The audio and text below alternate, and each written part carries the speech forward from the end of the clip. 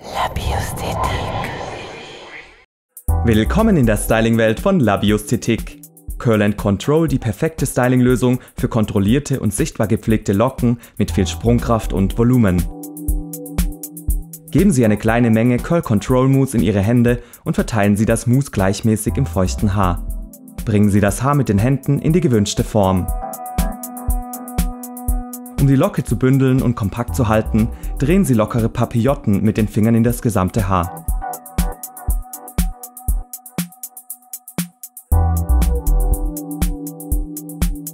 Im nächsten Schritt wird das Haar mit dem Diffusor getrocknet. Wichtig ist hierbei, dass die Haare nur sanft angehoben und nicht stark bewegt werden. Der Föhn soll nur mit schwacher Stärke, aber dabei mit viel Wärme arbeiten. Das Haar nicht ganz trocken föhnen, etwas Restfeuchtigkeit verhindert das Krisseln der Locke. Verteilen Sie im letzten Schritt etwas Molding Cream in den Handflächen. Das Produkt mit den Händen in Längen und Spitzen einarbeiten und in die gewünschte Form bringen.